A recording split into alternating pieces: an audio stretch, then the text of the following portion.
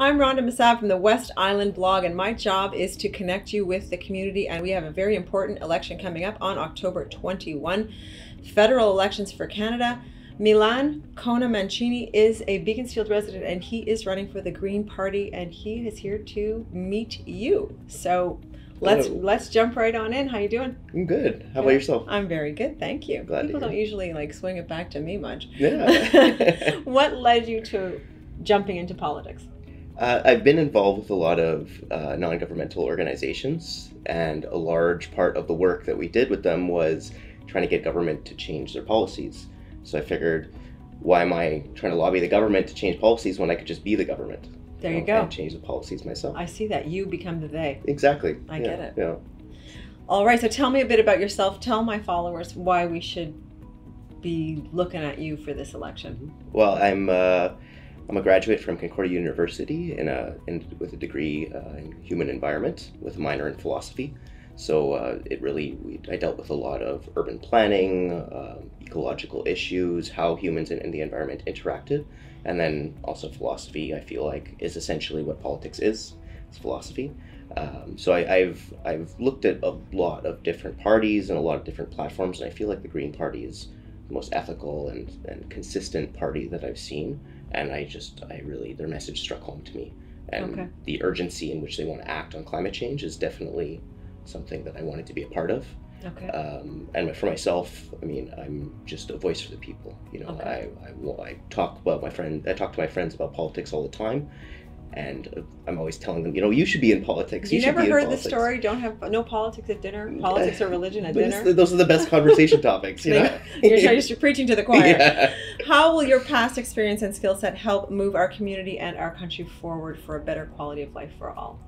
So I think that uh, my experience working with these uh, non-governmental organizations has really shown me the desires on the ground in a non-political way, and that uh, by applying political slant to these things, that I can uh, really move things forward, because I know the the desires of these large organizations and even just people, even going door to door and talking to people. You know, I'm seeing this broken sense of community you know the, these people are a lot of people are desperate for communication and it's really you know they, they their their day is made when just somebody comes to talk to them you know and I, I feel like being a part of that community and representing the community i can really uh, make a difference Okay. From your door to door experiences, from your going door to door campaigning, what do you feel is the concerns on the West Island? number one is the environment as i think uh, everybody's going to tell you it's it's the environment and I, I, we're seeing it in the platforms of all the parties i think this is the first time that every After 500,000 people collected in Montreal, yeah I think we needed to at least look at it. exactly So, with that being said, there's a very real reality that we have um, poverty on the West Island. Yeah. And how does that tie into? We get that you're green, Mhm. got the climate change part. Yeah. I want to know what piece, uh, how you're going to address the poverty that exists. For sure. We have a very uh, easy solution, which is guaranteed livable income. So that means a, a guaranteed set of money that everybody gets a month. Every Canadian's going to receive in their pocket money to uh, to pay for their housing, to pay for their food. What? Where would that come from? So we've got a uh, budget that's going to be balanced within six years. A lot of it comes from taxing these large corporations that are evading taxes. A lot of uh, international companies that come in and then take our money Such as? essentially. Um, Airbnb, Amazon. Um, I was going for Netflix. yeah, yeah, Netflix too. Yeah, definitely. A lot of these large companies that just don't. Well, there is a now a tax I think on Netflix, but uh, these other companies, yeah, Okay. definitely, um, they're they're evading, you know, our laws by working outside and then using the digital realm. And Okay. I feel like the, you know, we're, we're really behind on digital things. Okay. you know, the the government. There's this there's the saying that the government's 20 years behind society you know, at all times. And uh, you know, 20 years ago, we didn't, I didn't know what the internet was, Right. you know, and we need to create a digital policy. We need to create, you know, a way that uh, is going to protect our online citizens, you know, not just from these companies that are coming in and avoiding taxes, but also your security and your information that's online. That uh, there's no Canadian digital media policy.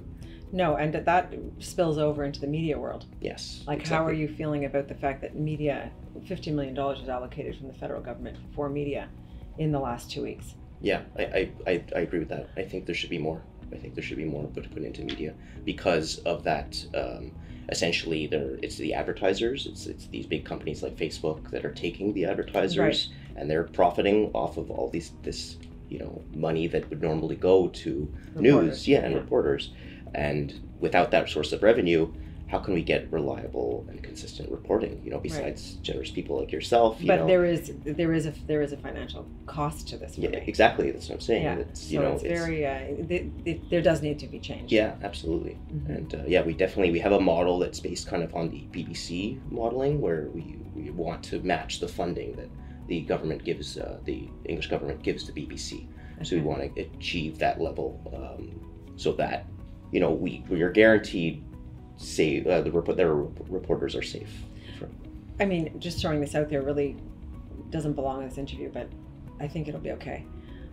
What if Facebook and everybody was taxed and that money went to the actual news outlets? Yeah, absolutely. I that mean, same tax, like yeah. without taxing the people, just yeah. Well, there's Facebook. we we uh, essentially that's what's going to happen, Mhm. right? Is Okay. that a lot of this like you know it's i if you I, I heard a statistic if you if you worked if you made five thousand dollars a day every single day of your life since when Columbus landed in America you still wouldn't be a billionaire today you know? So that and millions and billions are like there's vastly different and there's people there's companies out there that are making billions of dollars and to take a small portion of that to you know fund poverty to fund guarantee livable income to fund nationalized pharmacare to me that's not that's uh, the ideal you know and that there shouldn't be this you know uh, isolation of wealth that isn't brought back into the economy okay.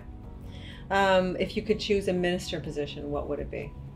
i mean the environment is the obvious one um, I would have never guessed. yeah but uh, there is actually a digital um, it's combined kind of with i think foreign affairs or something but there is a digital government uh, ministry position that i think is pretty interesting because the digital realm is very interesting to me um, and like i said there's no digital media digital, digital media policy so yes, something we need to get on immediately desperately. um, and I think it might be a bit too late for you and I for the information that's out there, but we need to protect, you know. the future. yeah, well, exactly. protecting the media protects democracy. Yes, absolutely. It's a you know if we start getting paid to write, you know, human interest stories or or this kind of news, it's going to be dangerous. Exactly. Yeah. Exactly. Agreed.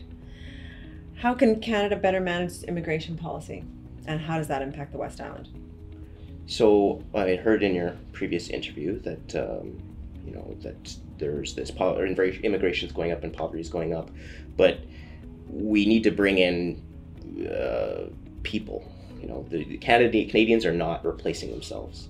Manitoba, Saskatchewan, and New, New Nova Scotia last year would have all lost people. Would have had a net zero, net uh, a negative population due to um, uh, just people not replacing themselves. And with immigration, thankfully, we've we've brought up those numbers to positive uh, population numbers. Um, yeah, so uh, addressing the immigration, we want to eliminate the third uh, Safe Third Country Act with the United States um, because people aren't necessarily feeling super safe there anymore, and that we need to process them like if they, however they feel like they need to be processed. If they if they fall under the categories of refugee, then we should treat them as such. And uh, on top of that, we really need to put a lot. How do we support them financially? That's thirty-five thousand dollars a year. I think I've got the numbers right for an immigrant Yeah. to come. for sure? So we're not meeting that. Yeah. We're not meeting those demands financially. Yeah. That's why I'm increasing in my food drives, Mhm. and there's more poverty in the streets of the West Island, particularly. Yeah, it, it takes a few years for um, somebody to become established. But we see so many success stories of people bringing business, bringing money. You know, there's we not just that, but where they bring outside income. So we're instead of just circulating Canadian money within Canada, we're actually bringing in wealth from other places. So while they do, some people do take a little bit time to get established. There's a lot of people coming in with money that they're spending in Canada on Canadian taxes and things like that. But uh, it's definitely I wouldn't say it's the immigrants. I think that it's it's these large corporations that are exploiting our labor and hoarding the taxes and hoarding the money and things that we should be putting back into Canada. Okay. Now you've got a few thousand people watching you. What would you say to a few thousand people at once who are heading to the polls on October 21st? Because you're heading to the polls on October 21st. So what would you say?